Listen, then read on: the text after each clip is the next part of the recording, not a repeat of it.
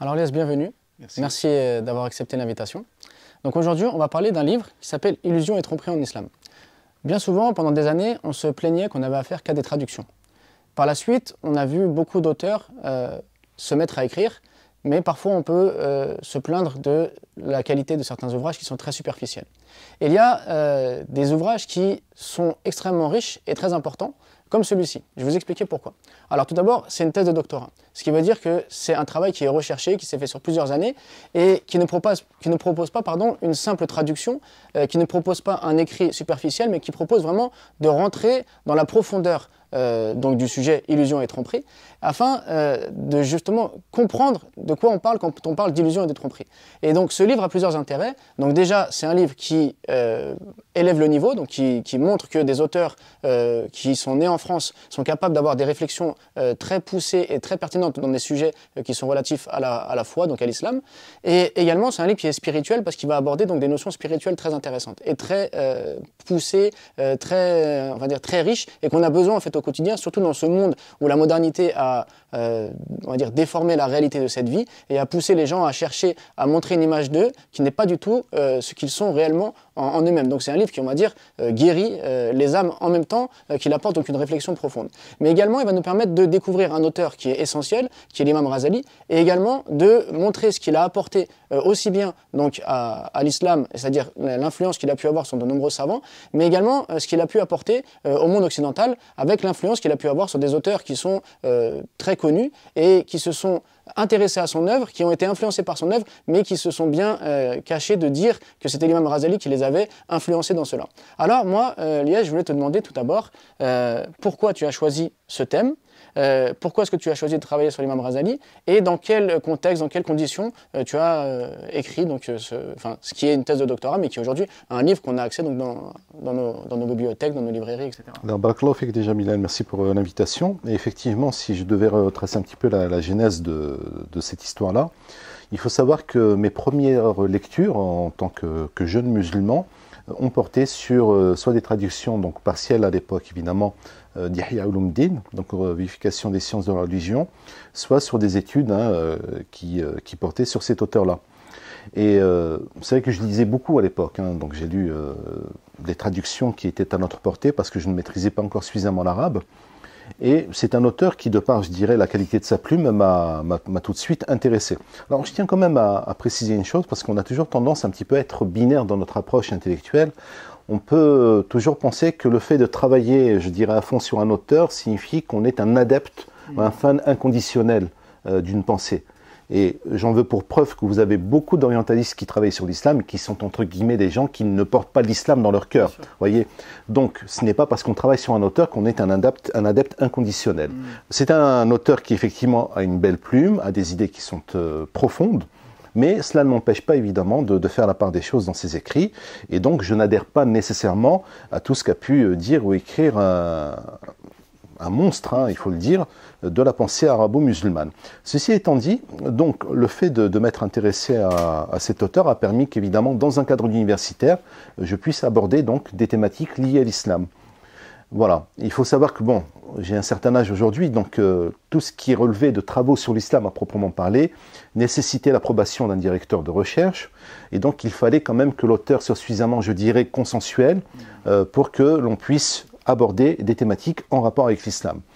Euh, il faut dire que concernant cette notion-là d'illusion et tromperie, en réalité, j'ai traduit la notion de rourour en arabe. Hein. celle qui est liée au faux semblant, le fait d'être dupé à son propre insu.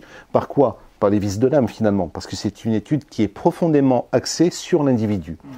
Et c'est une thèse que j'avais entamée, que j'ai mise entre parenthèses pendant de nombreuses années, et c'est suite à une longue expérience professionnelle que j'ai décidé de reprendre et de m'intéresser à cette thématique-là, parce que j'ai beaucoup investi le champ évidemment associatif musulman. J'ai contribué euh, donc à l'émergence d'un certain nombre d'établissements scolaires, notamment privés, et mes réflexions m'est venue durant cette expérience personnelle, c'était de me dire que même entre musulmans, les divergences des fois étaient telles qu'elles me posaient la question de savoir si nous n'avions pas les mêmes références.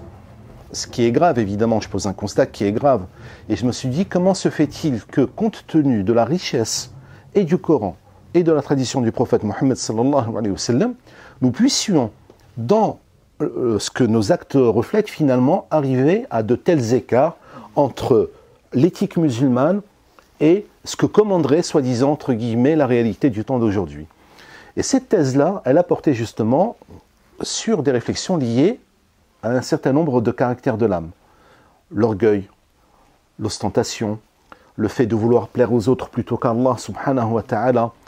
Toutes ces notions-là m'ont amené à approfondir et je me suis rendu compte, à mon grand étonnement, que des analyses qui avaient été portées il y a déjà plus de 1000 ans, ou presque en réalité, puisque le Razali est décédé en 1111, étaient d'une actualité incroyable. Et la façon dont cela avait été d'ailleurs euh, écrit, rédigé, présenté, montrait à quel point nos grands théologiens de l'époque avaient une réelle connaissance de l'homme. Et si vous prenez des ouvrages d'ailleurs qui sont cités, tels qu'Ibn Qayyim al-Jawziyya, dans son livre Irafatullah fan min masayid al-shaytan, ou comment se tirer finalement des pièges tendus par, ou plutôt tirer l'affligé euh, des pièges tendus par le diable, on se rend compte que la façon qu'il a d'aborder le cœur, sa subdivision en trois grandes catégories, les états de l'âme et autres, n'est pas quelque chose de théorique purement, mais c'est vraiment quelque chose qui touche à une expérience de vie. On a la même chose chez Ibn Jawzi, dans son Telbis Iblis par exemple. il a une description du cœur qui est assez incroyable, enfin qui est très imagée, puisqu'il parle d'une forteresse à protéger. Et donc c'est tous ces arguments-là, toutes ces analyses qui euh, finalement font la richesse de cette étude. Je tiens à préciser quand même qu'en milieu universitaire, il est extrêmement rare, peut-être un petit peu moins aujourd'hui évidemment, d'avoir des étudiants qui sont des musulmans convaincus, et j'insiste sur le terme, des musulmans convaincus qui, de manière tout à fait académique, en respectant les, euh, les standards, je dirais, d'une présentation de thèse et autres, abordent la spiritualité sans concession. Et c'est ce que j'ai fait. Euh, ça a d'ailleurs grandement étonné à l'époque le, jury de thèse, hein, qui était à l'époque composé de mon directeur, donc Abdallah Moussa, euh, Pierre Laurie, Denis Grill et Florial Saint-Augustin. Voilà, donc respectivement prof à la Sorbonne, donc on avait directeur à l'EPHE, on avait euh, Denis Grill donc, de l'Université d'Aix-en-Provence et euh, Florel Saint-Augustin de l'Université de Lyon. Voilà. Donc ce sont eux qui ont constitué ce jury et qui ont été agréablement surpris. D'ailleurs, c'est un travail qui a reçu les félicitations du, du, jury, avec mention très honorable. Et ils ont souligné que depuis plus de 20 ans, il n'y avait pas eu d'études aussi digne de ce nom sur la pensée de Razeli. Voilà. Donc c'était un honneur pour moi, non pas en tant que Chakal, parce que ma personne importe peu, mais un honneur que de représenter ma communauté dans l'antre du savoir occidental, et qui plus est, sans concession, voilà, quelque chose, un travail qui a été propre, qui a été, euh, je dirais, euh, pointu, parce que ça m'a demandé énormément de travail de recherche. Il y a quelques petites euh, euh, comment dirais-je, il y a des corrections, entre guillemets, que j'apporte même à des analyses qui remontent notamment à des orientalistes de, des années 20, des années 30, qui ont eu une, vraiment une critique très acerbe à l'encontre de la civilisation arabo-musulmane. Et, alhamdoulilah, j'ai pu apporter mon contribution et démontrer que finalement leur analyse était tout le contraire de ce que les textes scripturaires notamment euh, indiquaient. Donc, il est vrai que c'est une analyse qui, en plus, notamment en appel de notes, fait beaucoup d'allers-retours avec euh, euh, les, grandes théories euh, philosophiques du XVIIe, XVIIIe, XIXe siècle notamment. merci Lias pour cet éclaircissement, pour nous avoir montré l'intérêt de ce livre et donc tout le travail que tu as fourni pour ça.